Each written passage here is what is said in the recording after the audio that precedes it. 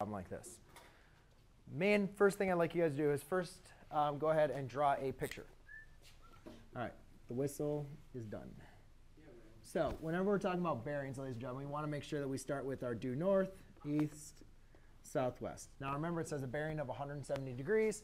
Um, that's going to be from due north. So that's going to be somewhere, well, halfway around circle is 180. So 170 is going to be like right there. And then we'll go down, right? And let's call this vector uh, A. Okay, now vector A has a magnitude of 460 miles per hour. 460, I'm just going to use um, as our miles per hour. Is it going to be our magnitude of this vector? Gotcha? Capiche? Comprende? Understood. Now, the next thing on this vector is we have our wind is blowing. And the wind is blowing at 200 degrees at 80 miles per hour. Well, again, if 180 is here, then 200 is going to be a little bit past that, right? But the magnitude is not as big as 460. Our magnitude is now only 80. So I'm not going to make a vector that's as big. Maybe just do something like that. And let's call that vector W. Okay, and that has a magnitude of 80. All right. Now, for basically what they're asking us to do is, given this information, first find the component form, for find the component form of the velocity of the airplane, which was the exact same question as 42, right? So as long as you did 42, you could do 44. So if we look at this, we have A, which is here's 170. We need to find the, the component form of this. Well, here's the big issue. You're, when you type in 170 degrees, if I was going to say, hey, draw an angle that's 170 degrees, this is not the vector. This is not the angle you guys would draw. You would draw it from standard position, right? So your calculator doesn't know bearings either. You can't type in bearing 170 degrees and then your calculator is going to know. So what we need to do is we need to figure out what this, what this angle of this vector is in standard position. So if we know from here to here is 170, that means this is 10 degrees right there. Everybody agree? Now let's just count.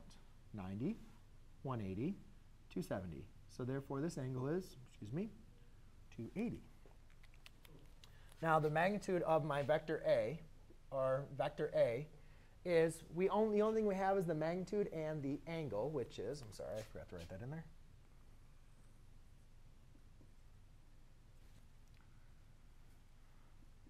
Hundred ninety degrees. So if we only know the magnitude and the vector, do we have 290? Thank you. 280. Thank you. Why? I forgot to continue it though, that's why. There you go. Because we're going from standard position, not due north. Um, so now, but do we, so we've talked about component form linear combination, and can we also write a vector given its magnitude and its direction? Yes. All you simply do is for your vector is take your its magnitude and times by the cosine of your angle times the sine of your angle. Huh? The component form of your vector when you're given the magnitude and its angle. So therefore, um, our magnitude in this case is going to be our speed. So that's going to be 460. And that's going to be the cosine times your angle. Now again, don't get trapped using this 170 degree bearing because your calculator doesn't know 170 degrees as your bearing. It only knows the standard position, which is 280 degrees.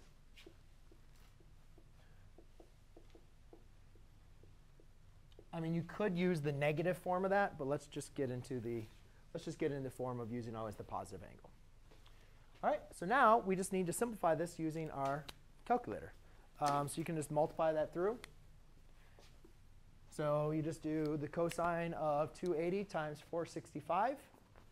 And when you have a nice little calculator, and you go and add them up, so make sure your calculator is in degree mode. And you just type in cosine of 280 times 460. And I'm just, and I get 79.878. I'm going to round to the nearest thousandth. And then I do sine of 280 and then times 460. And I get negative 453.012. Okay. Now, let's look at this. Let's look at our picture does this look like the component form of this vector? We're going positive, and then we're going negative. how far to the right we did is much smaller than how far down we went. Does that kind of look about right? And obviously, what I'm telling you guys is when you're doing a problem like this, what if you get positive, positive? Would you realize that, uh-oh, I made a mistake if you're all, all the way up here, right? Or if you had like a negative for the x and positive for the y. Does that make sense? So just make sure you guys kind of understand what you're. So that was part A, which was also your answer to 42. Now what we need to do is find the component. So now the next question is find the actual ground speed and direction, uh, or I'm sorry, find the actual yeah ground speed and direction of the airplane. So we have the airplane, and now we're looking in for well, what happens when both um, both forces are now acting on the plane? So basically, what we're looking for is the resultant vector of the wind and the plane. So we're basically looking to adding my vector w onto this vector and seeing what the resultant vector is going to be. Uh, let's use a blue took my blue. I don't have my blue markers anymore. Seriously? I don't have one blue marker. Yes. Yep. So the reason why it's 280 degrees is because it's bearing. No, that's No. standard position. 170 is the bearing. This is standard position. Standard position is from the positive x-axis. Bearing is from due north. So 170 degrees due north from due north is takes us right there, which I found out to be 10 degrees away from the y-axis, right? So, oh, if I'm like, oh, well, from here to here is only 10 degrees, well, from here to here is 90, here to here is 180, here to here is 270, and if I just have to go an extra 10 degrees, then that's 280. That's how I got that. Does that make sense? Okay. So now what I'm going to be looking for is this resultant vector. So to do that, that means I need to find the component form of my wind. Well, again, if wind had, um, now we, that means we need to find out what's my, the wind has a magnitude of 80, but we got to figure out what the angle is, again, for the wind. So let's see, this was at 200 degrees, right? So from here to here is at 200 degrees. So how far is that away from here? If halfway around, from due north, halfway around is 180, and you go to 200 degrees, that means this is at 20. Does that make sense everybody? No? Here you start at due north because it's a bearing. Here's 90. Here's 180. The angle says 200. So if you're at 180, to go to 200, you got to add 20. So that means this angle right there, that little sliver is 200. Now, we're looking for the angle though in, huh?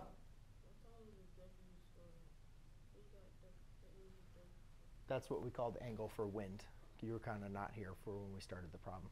So W represents the vector dub for the wind. So these are just me naming the two vectors. Okay. Um, so here is my angle. So that's 20 degrees.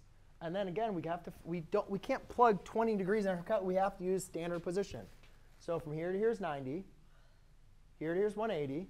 Here to here is 270. But we went kind of we have to go back 20 degrees, right? So we're at 2 250. So my vector W, which represents my um, vector W, which represents my wind, is equal to the magnitude of W times the cosine of theta times sine of theta. Same form, it's just different vectors. So what is the magnitude of W, or the wind? We said was 80. That's in the problem. And then the angle is not 200 degrees, though. Again, this is the most common mistake. It's not the bearing. The angle is your component form, which we said was 250. Now let me actually just put that in there. 250 degrees. So therefore, you have cosine of 250 degrees times sine of 250 degrees. How you got that from 250 minus Right, 270 minus 20. Yep. So now let's plug in our calculator, see what the component form of that is. So I do cosine of 250 times 80. And that gives me negative 27.362. And then I do sine of 250. Ooh. Sine of 250 times 80. and I get negative 75.175. Again, I'm just rounding to nearest thousand. But again, guys, let's look at this. Does this make sense? Does that, does that look like that vector, that green vector? It's negative, negative horizontal component, negative vertical component. Is it much smaller than my 4, 6, than my other vector? Right? So you guys can see how it kind of makes sense a little bit, right? But now what we need to do is our final, or still not even, we still haven't done anything with this blue vector. The blue vector is a plus w. And that's what we call the resultant vector. So resultant vector is equal to my a, which represented my airplane vector, plus the wind. So from your previous homework, when you're adding vectors, all we do when adding vectors is add the first two components and then add the second two components. So if here's A, if here's A, and then here's W, let's just add the two components. So A plus W will be 79.878 plus a negative 27.362, comma, second component, negative 40, no, negative 453.012, plus a negative 75.175. And then I just get my calculator and I add those two numbers up. Um, if you're obviously not rounding, you would be storing these two values, which is not too bad. You would just store them together. So here I get 52.516. And then over here I get negative 453.0012 plus negative 75.175 and I get negative 528.187. Now, does that resultant vector sound about right? Does that look about right? Yeah. Think about it, guys. You have this plane, right? This plane's going down. Here comes the plane. You have this wind that's pushing it like this. So you have your plane, and then you have wind pushing it down, right? So it's now going to be going over to the right, and it's going to be going a little bit faster because it has a wind at its back. You guys agree with me? It's easier to run when you have wind at your back than wind at your face, right? So it should be going faster, right? And if you have wind pushing it, it's going to be going over this way a little bit. And so if you look at 552, so it's not as far right as it originally was, but it's going faster than it originally was, right? So that makes sense. We're doing our math correctly. Yes? One thing I don't understand is still how you got the 250 angle. Do you, under, do you agree with me from here to here is 20 degrees? So that's the bearing though. That's from, that's the green. From there, that's to, either way. Standard position, 90, 180. Do you agree with me? From there to there is 180. Do you agree with me to the next one's plus 90, which is 270? But you're not at 270. You're at 20 degrees left, which was 270 minus 20 would be 250. That's where I got the 250. Yes? Why is there two hundred degrees in the problem? Like whenever it says when blowing. It's the bearing. Sorry, I didn't write it in there, but it says in the book a bearing of 200 degrees. I didn't write it down. It says bearing in the book. In your book in problem, it says a bearing of 200 degrees. That tells you to go from due north, not from standard position. How you got everything? Is like, The 200 degrees came from due north. okay, so you got Yeah, I, I didn't write it in there, and I'm sorry, but your book explicitly says a bearing of 170, a bearing of 200 degrees. That tells you to start from due north, not to start from standard position. So you start from north and you go to 200 and then the minus 20 is from the entire thing. So, so you get 250. Yeah. Okay. So it's kind of two different angles. But the problem with bearings is we use bearings a lot in navigation, but the problem is your calculator has no idea about bearings. So you have to convert everything kind of the standard position. Okay? Um, yes. Can we go into, uh, We're not done. We're not, we haven't even answered a question yet. Because the question says, find, so we found, the, we found the component form of our vector. But now the question says, find its magnitude and direction. 44. So when we got to find the magnitude and the direction of this vector, basically now, ladies and gentlemen, what we need to do is know our two formulas. So the magnitude of a vector, and I'm going to call my vector r as a resultant vector, is equal to the first component squared plus the second component squared. So what I'm going to do is just take 52.516, um,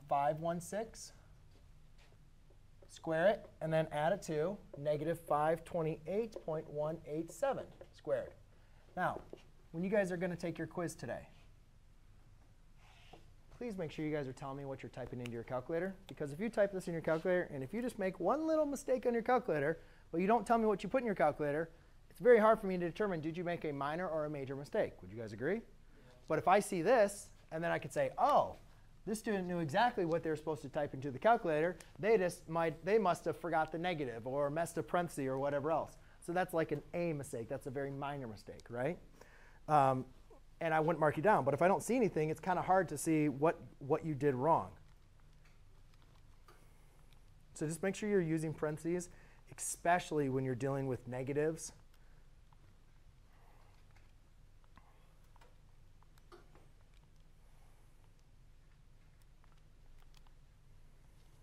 So when I find the magnitude here, I have 530.791 miles per hour. And does that sound about right? Yeah, that sounds about right, right? Now the next thing is we got to find the angle, and this is where it gets really confusing, and it's going to come up. It's going to come up on the quiz. For any vector, tangent of theta is equal to your second component divided by your first component. So to find my angle here, theta equals tangent inverse. And my second component here is negative 52, or negative 528.187, divided by 52.516. So now I'll just do tangent inverse of negative 528.187 divided by 52.516.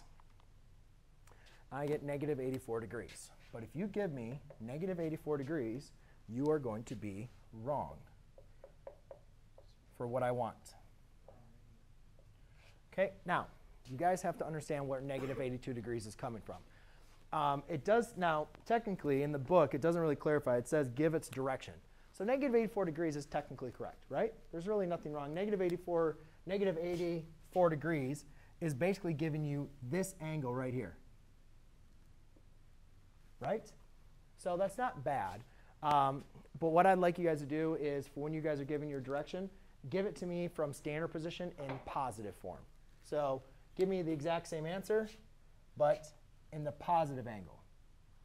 So that's going to be 360 minus um, that answer. Well, plus that answer, right? Yeah. Oh, shoot.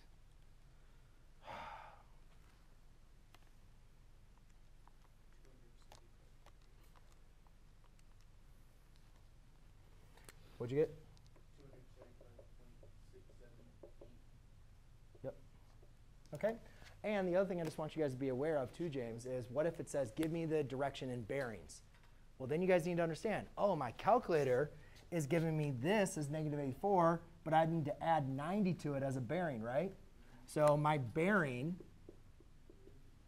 would be um, 170 174.322 degrees. Do you guys understand how, the how that can change? All I got to do is change wording in my question, right? Or you could also do, you could figure out what that is, that little angle, which would be 180 plus that, so it'd be 5.682 or whatever, 90 minus 84.322.